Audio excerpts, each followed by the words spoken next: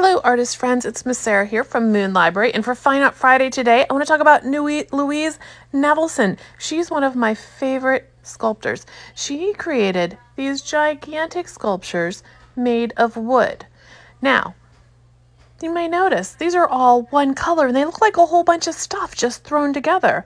Well, they kind of are. She would collect wood pieces, um, all kinds of different debris off the street, primarily wood in New York City.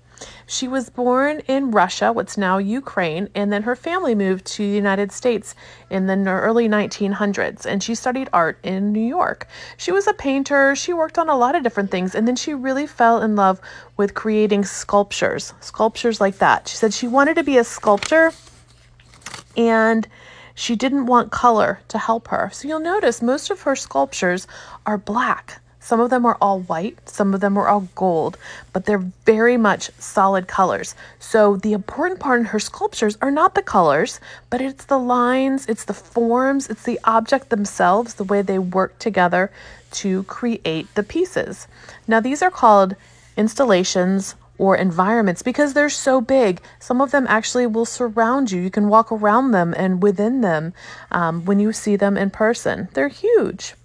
She loved the beauty that she found in discarded materials, and she considered black a total color. It contained all of the other colors, so she felt like it was really all she needed to work with.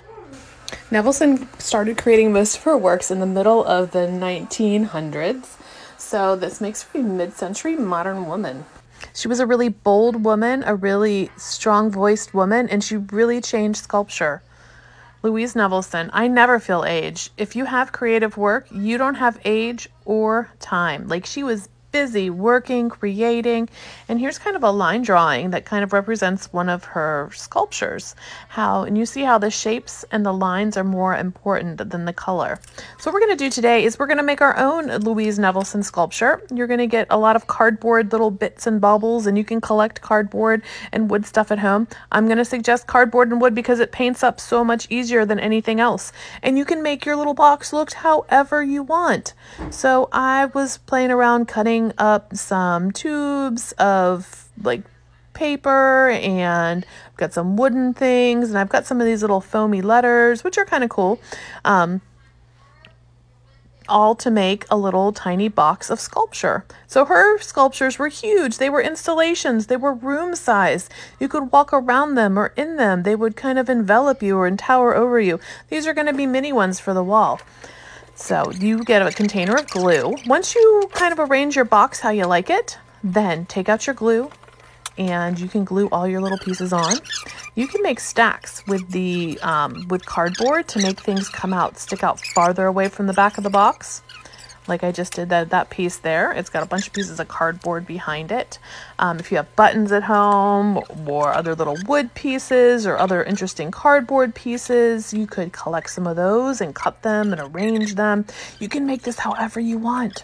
So because color's not important, we're not looking for color. We're looking for shapes and how lines and how they make you look at that space. So I first glued, I arranged all my pieces. When I found a way I like them, then I glued them. Now, once you have them glued and they're dry, you probably want to wait a day or so. You want to make sure they're really stuck. Then you can take out your paint. Um, you guys have some black tempera in there with a brush. And you're probably going to have to paint on a couple coats of paint. But you can paint all around the inside and the I really hope you've enjoyed learning about one of my favorite kinds of art, assemblage art, and one of my favorite sculptors, Louise Nevelson, and learning a little bit about installation art and making your own assembled piece.